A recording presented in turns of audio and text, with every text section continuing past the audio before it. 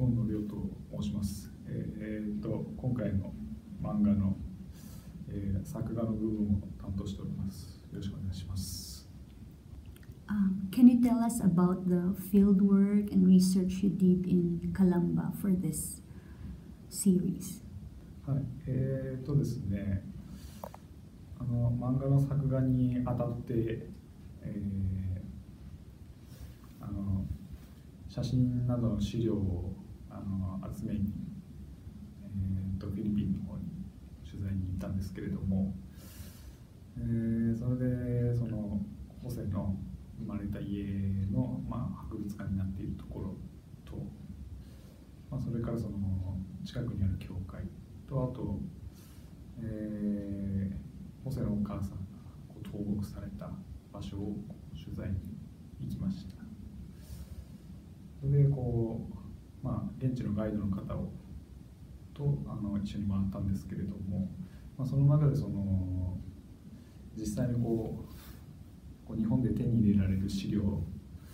とはこう、まあ、と現地の方にこう直接聞いた場所とはあの違いがあったので、まあえーそういうところをこう取材できてあのよかったなと思いました。How was the Jose Rizal manga different from your past works? えーとですね、あの今まではあの日本を舞台にしたあの漫画を描いてきたんですけれども、えーと今回はそのフィリピンを描くということでそれにその、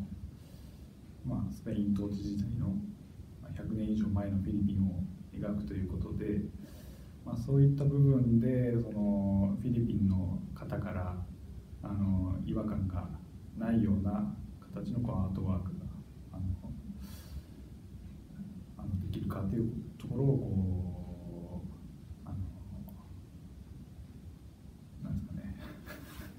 あのすごく気をつけてあの書いてますね。What did you find most in- interesting about Rizal when you were working on this? そうですねやっぱりそのホセリサル自身もこう小説を書いたりしているので、まあ、同じこう作家業をしているっていうところがあの共通点だなと思っていて、まあ、その作品を書くことでこう世の中を変えようとしている部分っていうのがあの非常に共感してますね。